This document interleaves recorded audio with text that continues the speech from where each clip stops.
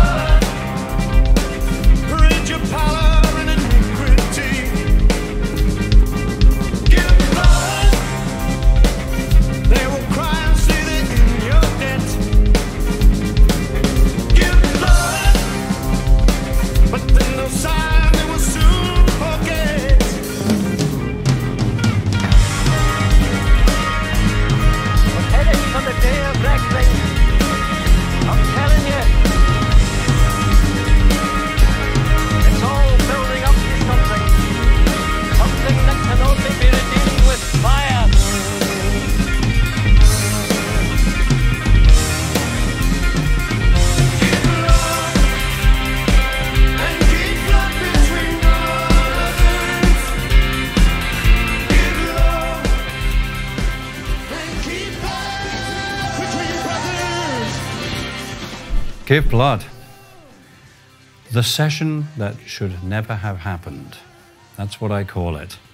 Uh, it's a long story. I won't bore you with the long story. I'll give you the short version. Pete called me and asked me to turn up a week earlier than I should have done. And when my drums started to arrive, producer Chris Thomas said to Pete, Why are dr Simon's drums arriving? And then Pete went, oh, I probably booked him for this week, not next week. He said, Oh, great. I didn't know anything about this until a year later when Chris Thomas told me on another production. But that is why there was no bass player on the session. Dave Gilmour was there to work on some other music with Pete.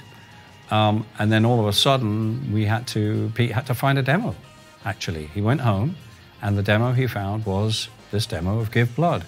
I'm not even sure if he even ever intended to record this song. So just fate. Isn't that amazing? Um, so I'm going to uh, break down some of the some of the parts. So I hope you're enjoying this video so far from Simon Phillips, and I just want to let you know that we have the full note-for-note -note transcription available inside of Drumeo for you. You can learn exactly what Simon played on the original track. You can loop the parts, you can slow them down, and follow along with all the sheet music. So if you want to check that out, you can click the link right below this video, and you can get a seven-day free trial to Drumeo. We recorded this in 1985. So that tells you a little bit about what else was going on in terms of the music that was out at the time.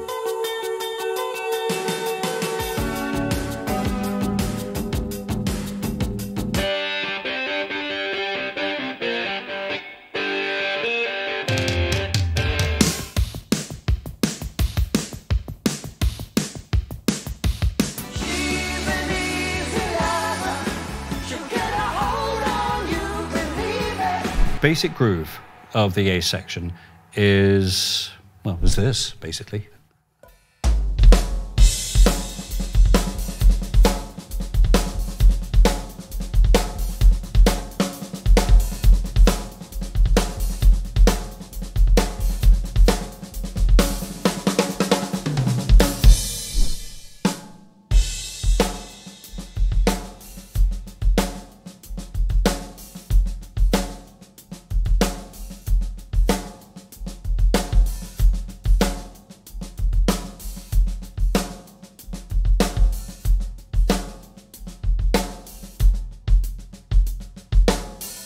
The drum part evolved. Um, we went out, we did a take, no click, by the way. We just basically played to Dave's dotted eighth delay for his on his guitar. The next section is kind of a, a quasi Latin section. Now you may notice that I have a right hand ride cymbal. I haven't put that up for many years. We recorded this in 1985, and I don't know, for some reason I'd been playing, you know, for many years, all totally left-handed. Um, I think 1980 I had two rides, uh, definitely on the Jeff Beck tour, there and back. But I think after that tour I took it away um, and concentrated just on, on the left-hand ride. I actually did that section, I remember doing it right-handed. That's 1985. I was trying it as we were recording this song, and I just couldn't carry it off. I had to play it this way. I wasn't convincing enough this way for some reason. Maybe I was playing it slightly different and just can't remember what it was, but anyway.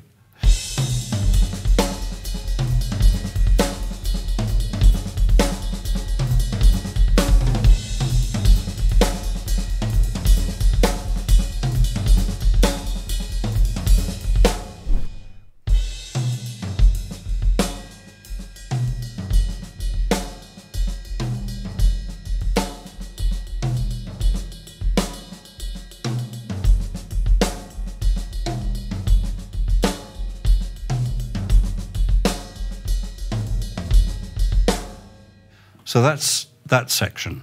And at the end of that section, we go into what I call the chorus. Um, and that's where I had to use a right-handed cymbal because of the pattern that I played, um, which is, was simply this.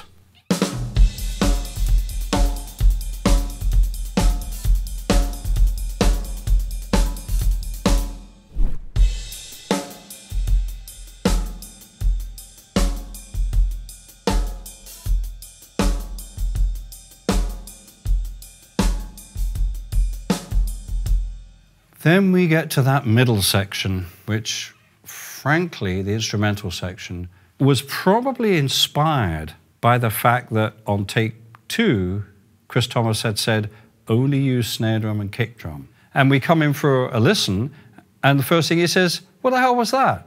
I said, Well, Chris, you told me to play kick and snare. And see, Pete loved this because he loves a good argument. And he could see Chris and I really getting into it. And he said, Well, I didn't ask that. And I said, Well, I can't play that. You know, I have to play to play a song like this. I need to play everything. He said, "All right, go on, go and play it." so just stuck to kick, snare, and toms, which is this bit.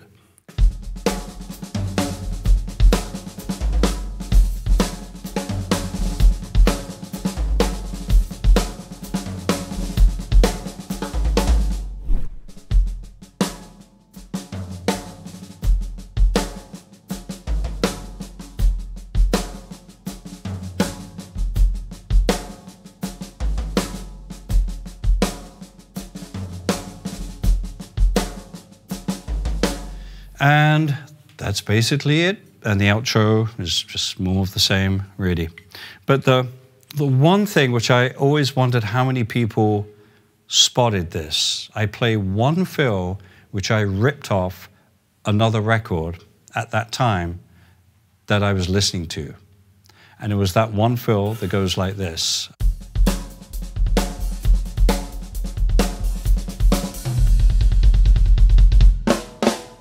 That one. I ripped it off Rockit, Herbie Hancock.